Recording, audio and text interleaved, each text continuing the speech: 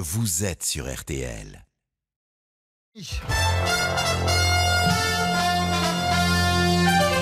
RTL Midi. Le 12-30, Christelle Robière. Bonjour à tous, bienvenue dans RTL Midi. Et en ce jeudi 8 octobre, il y avait une claire intention de tuer. Gérald Darmanin, le ministre de l'Intérieur, affirme que les deux policiers attaqués grièvement blessés par balle hier soir à Herblay ont été, je cite, massacrés. Nous serons sur, sur place dans un instant. Un vaste coup de filet dans le monde de la pédopornographie. 61 personnes ont été arrêtées dans toute la France. 4 sont aussi soupçonnées de viol sur mineurs. Dans RTL Midi aussi, quelles nouvelles restrictions face au Covid D'autres villes pourraient passer au niveau rouge écarlate. Le ministre de la Santé fera le point à 18h et notamment Saint-Étienne, là où une fête étudiante dans un appartement a réuni plus de 150 personnes. Le contrôle technique, un point de passage obligé avec des tarifs parfois fantaisistes pour les automobilistes. Un comparateur existe désormais. Et puis nous rêverons avec Théo Curin, le jeune nageur paralympique se lance un nouveau défi, traverser le lac Titicaca au Pérou. Il nous parlera de son aventure à la fin de ce journal. La météo, bonjour Peggy Broche. Bonjour Christelle. On revient du classique tout Mais oui, simplement. nuage au nord, soleil au sud. Alors en fait, le soleil gagne du terrain par le sud et va s'imposer entre l'Aquitaine, l'Auvergne-Rhône-Alpes et la Méditerranée. Puis en allant vers le nord, les nuages seront plus nombreux. C'est même bien couvert hein, au nord de la Loire avec très peu de pluie, peut-être juste un peu de bruine localement, sauf sur les côtes de la Manche où là on a une nouvelle perturbation pluvieuse et venteuse qui arrive cet après-midi. Côté température, c'est de la douceur pour tout le monde, on en profite de 15 à 19 degrés au nord et de 19 à 25 au sud. La question du jour, elle concerne l'épidémie. Les jeunes sont-ils inconscients? Vous êtes 80% à répondre oui sur RTL.fr. Il y a 15% de non. Vous pouvez continuer à voter et à nous appeler 3210. Bonjour Pascal. Bonjour Christelle, et c'est vrai que 150 personnes dans un appartement de 60 mètres carrés, ça fait réfléchir. Le docteur Martin Blachier sera avec nous. Autre sujet, le métier de policier est-il plus dangereux aujourd'hui? On pourra évoquer également Emmanuel Macron, ce qu'il a dit hier.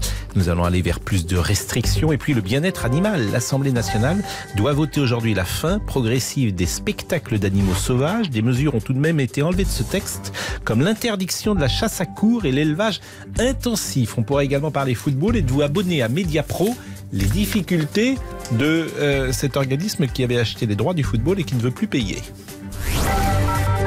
Au 3210, RTL vous donne la parole. C'est le résultat de près d'un an d'enquête. 61 personnes soupçonnées de consulter des contenus pédopornographiques ont été arrêtées ces derniers jours dans toute la France. Elles auraient visionné et téléchargé des photos et des films mettant en scène des mineurs. Et dans le lot, quatre hommes sont même soupçonnés de viol, Alice Moreno. Oui, au moins deux pères de famille sont soupçonnés de viol sur leur fille. Dans l'ordinateur d'un troisième individu, les enquêteurs ont trouvé une vidéo dans laquelle le suspect lui-même apparaît comme le violeur d'une fillette de 7 ans. Même découverte dans l'ordinateur d'un éducateur sportif, des vidéos du mis en cause en train de violer des mineurs. Alors attention, tous les pédophiles ne sont pas violeurs, mais la frontière entre la consultation de contenu et le passage à l'acte est poreuse, selon Éric Béraud, chef de l'Office central de répression des violences aux personnes, qui a conduit les investigations. Internet là-dessus a un gros effet délimitateur sur le téléchargement. Et après, évidemment, bah, on a euh, des passages à l'acte. On a certaines personnes qui consultent euh, deux à trois heures de, de, de vidéos pédopornographiques par jour. Tout ça, euh, souvent, entraîne une excitation qui fait que euh, lorsqu'ils ont malheureusement de jeunes mineurs à porter, eh bien, eh bien ils passent à l'acte. Des profils de consommateurs à très grande échelle ont aussi été révélés, à l'image d'un imam de 50 ans qui a reconnu avoir téléchargé plus de 400 fichiers, ou de cet homme de 39 ans qui détenait 176 téraoctets de données. Pour remonter jusqu'à cette soixantaine d'individus, l'OCRVP a utilisé un logiciel détectant les connexions au contenu pédopornographique. Pas moins de 100 000 connexions ont été constatées sur le territoire français en seulement quelques mois. Alice Moreno, Gérald Darmanin n'a pas eu de mots assez durs pour évoquer l'attaque de deux policiers hier soir à Herblay dans le Val d'Oise. Le ministre de l'Intérieur s'est d'ailleurs rendu sur place. Ce sont des actes de grande sauvagerie. Ces personnes, selon toute vraisemblance, avaient la claire intention de tuer.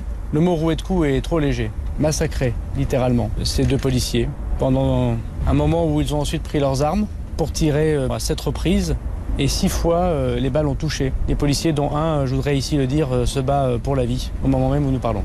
Alors venons-en aux faits. Ces trois policiers de la PJ de Cergy ont été attaqués par trois individus, Cindy Hubert, alors qu'ils étaient en planque Oui, les policiers sont alors euh, dans leur voiture au beau milieu de la zone industrielle, des rues désertes, quelques entrepôts.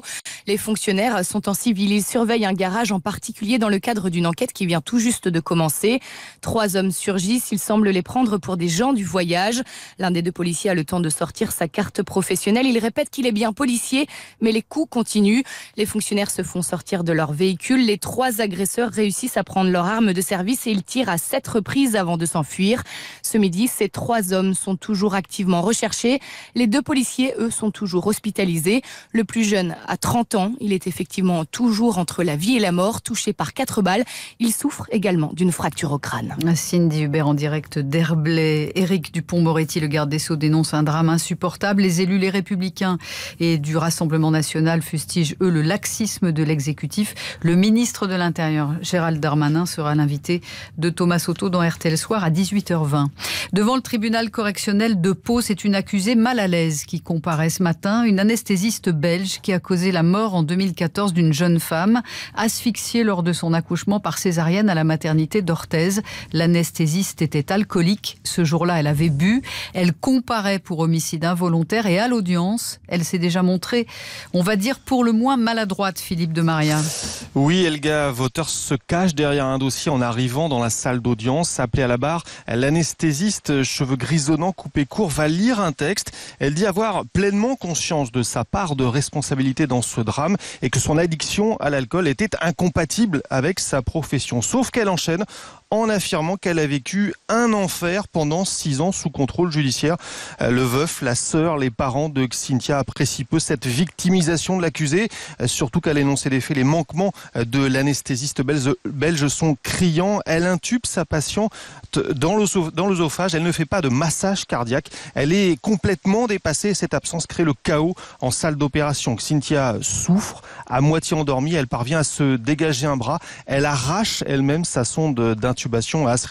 Sa famille, sur le banc des partis civils, accuse le coup et Elga Waters, après sa déclaration, a décidé, elle, de se murer dans le silence ici, devant le tribunal de Pau. Philippe de Maria en direct du palais de justice de Pau. On vient de l'apprendre, la plainte déposée en juin par Éric Dupont-Moretti alors qu'il était encore avocat contre le parquet national financier vient d'être classée sans suite. Il contestait la surveillance de ses communications dans le cadre de l'affaire des écoutes qui vise Nicolas Sarkozy. Devenu garde des Sceaux, Éric Dupont-Moretti avait retiré sa plainte, mais l'enquête s'est poursuivie. La justice conclut qu'il n'y a eu aucune infraction de la part des magistrats du parquet financier. Dans un instant, un joli cluster étudiant à Saint-Étienne. RTL Midi. RTL Midi. Avec Christelle Robière. Plus de 18 700 nouvelles contaminations durant les dernières 24 heures. Le coronavirus remet plus que jamais la pression sur notre collectif. De nouvelles mesures de restriction pourraient être annoncées ce soir par Olivier Véran. Et pendant ce temps-là, eh bien, c'est la fête. À Saint-Étienne, un étudiant d'une école d'ingénieurs avait organisé une fête d'anniversaire avec une dizaine d'invités officiels. Ils se sont retrouvés à plus de 150 et c'était pas un bal masqué. Le campus de leur école a même dû fermer, Frédéric Perruche.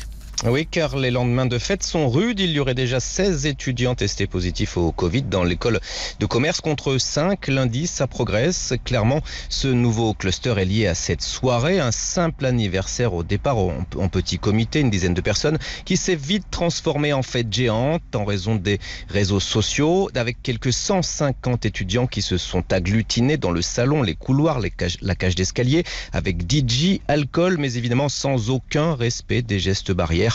Pas de masque, danse collée serrée, cocktail détonnant. Un désastre sanitaire selon le procureur, même si l'organisation ne serait pas en cause, l'organisateur, car il a été débordé, dépassé par l'arrivée massive de ses invités surprise. Voilà en tout cas une des raisons qui pourrait faire passer Saint-Etienne en rouge écarlate ce soir. Ce genre de soirée arrive fréquemment, me confiait un étudiant, et les chiffres sont alarmants chez les jeunes à Saint-Etienne. Le taux d'incidence dépasse les 400 cas pour 100 000 habitants. Merci Frédéric Paruchet. Effectivement, c'est à cause de ce genre de comportement, euh, Marie Guerrier, que les universités se retrouvent à être répertoriées comme des foyers de contamination. Oui, alors que nous disent les chiffres Depuis la rentrée en Ile-de-France, par exemple, la plus grosse région étudiante, les universités ont recensé 796 étudiants testés positifs sur un total de 705 000 étudiants. Alors c'est seulement 0,11%, même ordre de grandeur à l'université de Lorraine, à Rennes 2, à Montpellier Paul Valéry ou encore à Lille. Mais les chiffres augmentent. Et le problème, surtout, ce sont donc les clusters, des endroits où il y a concentration de cas. Santé publique France a recensé 168 clusters dans l'enseignement supérieur depuis début septembre. C'est moins qu'en collège et lycée, mais la particularité du cluster étudiant, c'est qu'il concentre davantage de cas en moyenne, 24, et ça augmente les risques de diffusion du virus, d'où l'étiquette foyer de contamination accolée aux universités. Mais ce n'est pas la réalité selon Jean Chambaz, président de Sorbonne Université. Les universités ne sont pas des foyers de contamination. Ça veut simplement dire que nous déclarons les cas, mais que les cas ne se déclarent pas à l'université. Les cas se déclarent euh, dans des soirées étudiantes, dans des événements privés, à l'extérieur de l'université. Nous ne sommes pas au cœur du dispositif de dissémination du virus. Pour autant, si la contamination est extérieure, c'est bien dans les universités que les étudiants se retrouvent ensuite. La réduction de 50% des capacités d'accueil dans les universités est désormais appliquée pour limiter le brassage c'est important, dit Jean Chambaz, pour prouver notre sérieux dans la lutte contre l'épidémie et éviter les fermetures. On évoquait Saint-Etienne il y a quelques minutes. Eh bien, elle fait partie des villes qui pourraient passer en alerte maximale. Le ministre de la Santé fera un nouveau point à 18h. D'ores et déjà, Emmanuel Macron a écarté toute idée de limiter les déplacements, mais il y aura sans doute de nouvelles restrictions pour les villes qui étaient déjà en alerte renforcée, Odile Pouget. Oui, dans le viseur du ministère de la Santé, Lille tout d'abord. Dans la métropole du Nord, les trois indicateurs qui déterminent le passage en zone d'alerte maximale sont dépassés.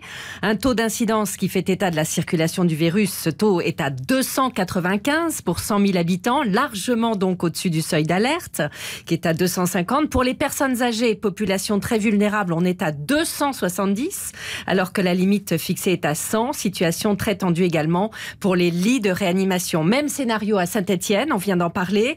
À Grenoble, on est en passe de basculer, même si on n'atteint pas encore tout à fait le seuil critique dans les services de réanimation. À Lyon, les autorités de santé font état d'une situation stable, mais très préoccupante tout de même depuis une semaine. Quant à Toulouse, eh bien, c'est le taux d'incidence chez les plus de 65 ans qui inquiète. Mais en revanche, la circulation du virus se fait moins active dans la population et les hôpitaux sont un peu moins sous pression, ce qui pourrait éviter à la ville rose de passer en zone d'alerte maximale. Et en région parisienne, l'Agence régionale de santé demande aux hôpitaux et aux cliniques de mobiliser tout leurs ressources en prévision d'un afflux important de malades dans les prochaines semaines.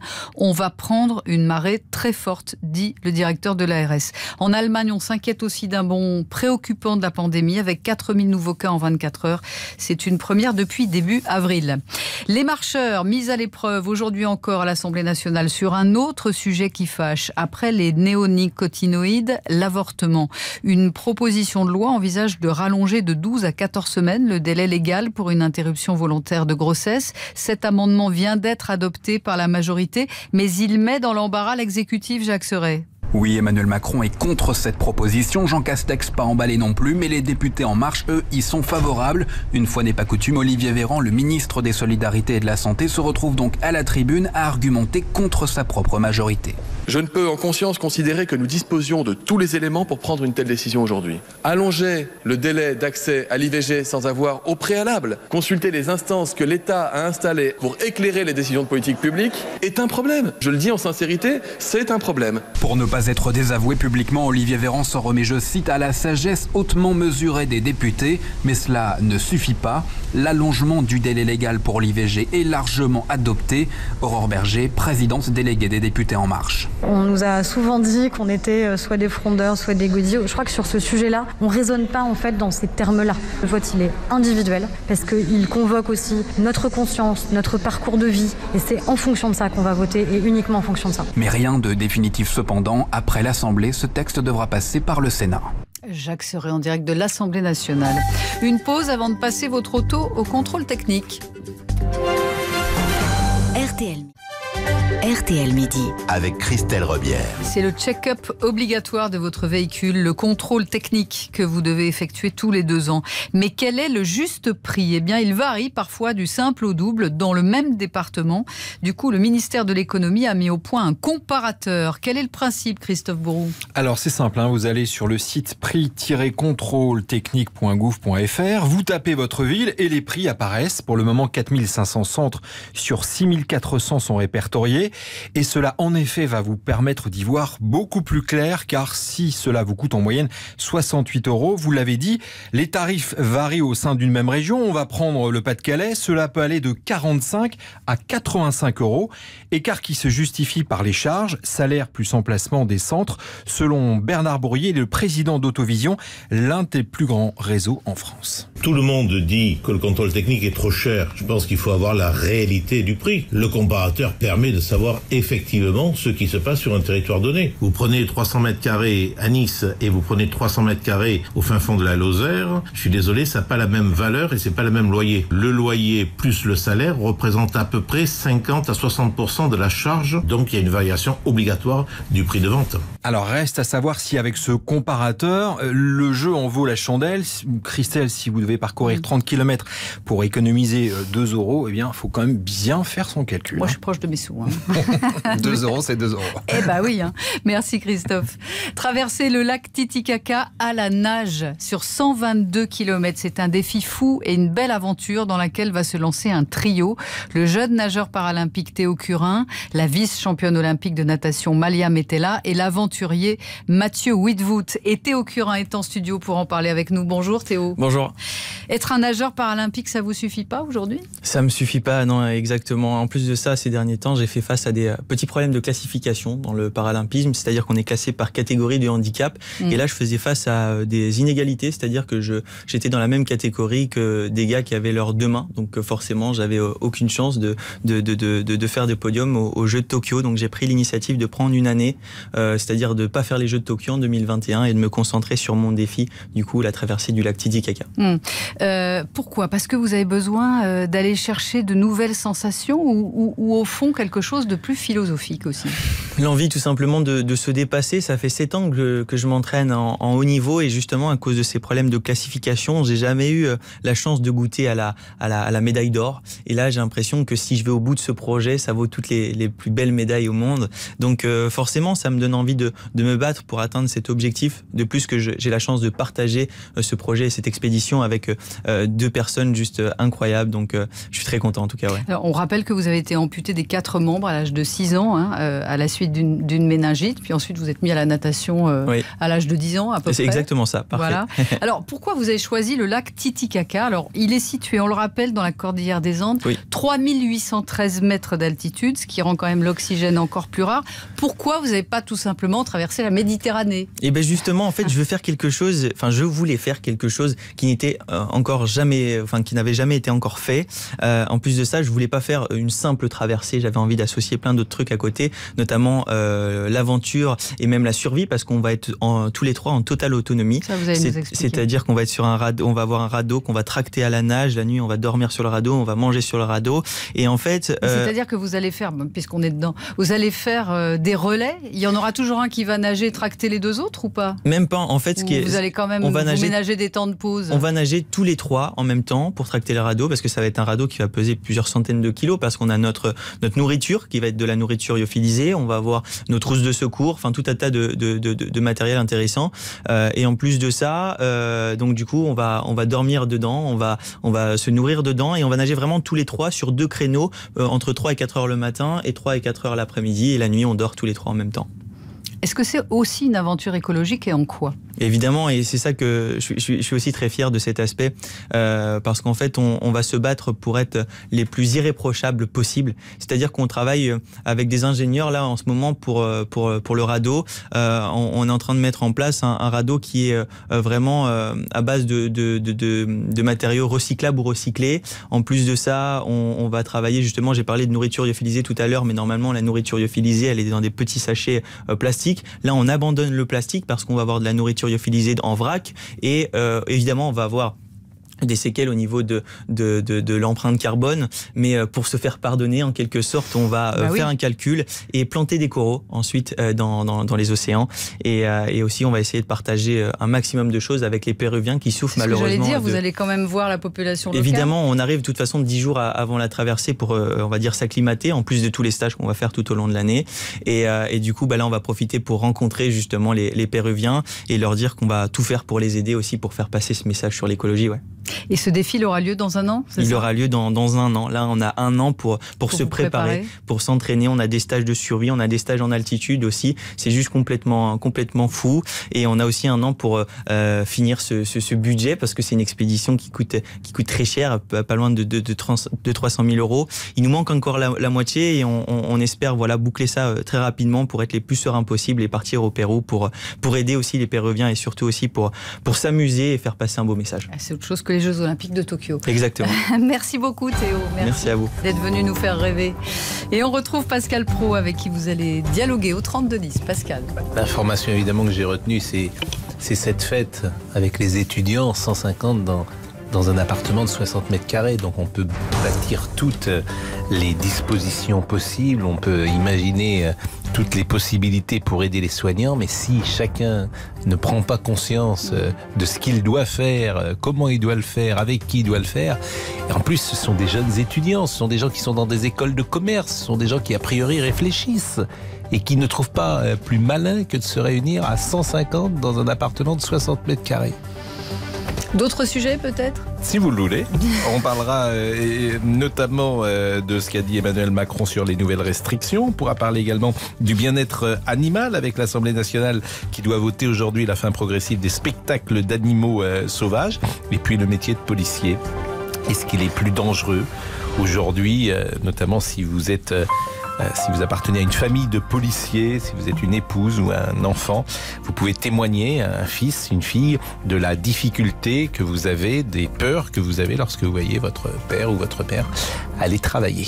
À tout de suite, Pascal. Euh, Peggy Broche, une belle douceur de début d'automne. Eh oui, Christelle, 16 degrés cet après-midi à Metz, 17 à Brest comme à Lille, 19 à Paris et à Nantes, 21 à Lyon et Bordeaux, 23 à Tarbes et Bastia, 24 à Perpignan et jusqu'à 25 degrés à Nîmes. Maintenant, côté ciel, Israel pas de surprise, un classique nuageux au nord, plus ensoleillé au sud. En fait, c'est bien chargé au nord de la Loire, entre Bretagne, Pays de la Loire, Île-de-France, Grand Est, avec un peu de bruine possible par endroit.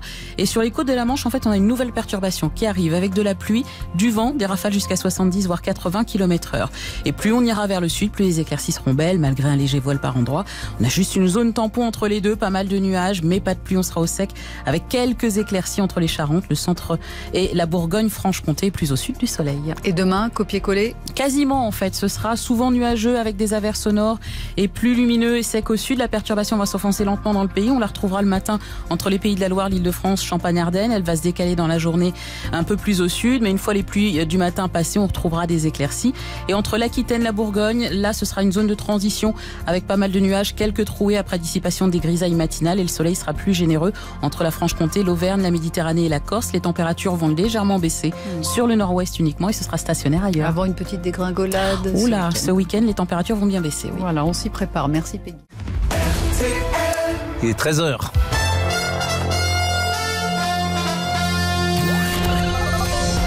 Les auditeurs ont la parole sur RTL. Avec Pascal Pro. Le métier de policier est-il de plus en plus dangereux? Nous sommes avec Frédéric, qui est commandant de police. Bonjour. Bonjour Pascal. Qu'est-ce que vous répondriez ah bah écoutez, c'est à l'image de l'ensauvagement de la société, mais il paraît que c'est populiste et que ça amène à la surenchère de dire ça. Nous allons en parler dans une seconde. Et on y vient. Deux policiers grièvement blessés, dont l'un entre la vie et la mort. Ils ont été attaqués par trois hommes à Herblay dans le Val d'Oise alors qu'ils étaient en planque et se sont fait tirer dessus avec leurs armes de service. Gérald Darmanin, le ministre de l'Intérieur, dénonce des actes d'une grande sauvagerie et ajoute qu'il y avait, selon toute vraisemblance, la claire intention de tuer. Olivier Véran, le ministre de la Santé, devrait annoncer de nouvelles restrictions face au Covid. De nouvelles villes pourraient passer au niveau d'alerte maximale. Mais Emmanuel Macron a écarté hier toute idée de limiter les déplacements dans les prochains jours. 400 à 500 personnes ont manifesté ce matin devant le siège du groupe Mullier à Croix dans le Nord à l'appel de la CGT. Ce groupe, c'est aussi bien Auchan, Calinéa ou encore le Roi Merlin. Il répondait à l'appel de la CGT pour protester contre les plans sociaux en cascade. À Roland Garros aujourd'hui, place aux demi-finales dames à partir de 15h. La polonaise Viatek rencontre l'Argentine Podoroska et ce sera une grande première pour l'une et l'autre à ce niveau-là en Grand Chelem. L'américaine Kenny Nelache Jacek, Kvitova sont beaucoup plus habitués à ce niveau de compétition. Le prix Nobel de littérature, normalement, il est attribué chaque année à 13h pile. Alors, notre ami Bernard Lehu nous a rejoint. Ils sont un peu en retard, vos amis du Nobel, Euh, Bernard. non, l'annonce vient d'être euh, faite et le prix est accordé à une poétesse amé- américaine, Louise Glick. Et là, je dois vous dire franchement que je suis incapable pour le Eh moment ben, ça me de- rassure. De, vous en dire plus. Je me sens moins Euh, seule. et alors, euh, c'est vrai qu'on on parlait beaucoup d'un prix attribué à un auteur américain, parce que ça n'est pas arrivé depuis de nombreuses années. Donc voilà, ça c'est un élément qui est entré dans, dans le choix sans doute des Nobel de littérature. Donc l'américaine, la poétesse Louise Glick. C'est vrai qu'on leur reprochait d'attribuer trop souvent des prix à des Européens. Merci Bernard. Jusqu'à 14h30. Les auditeurs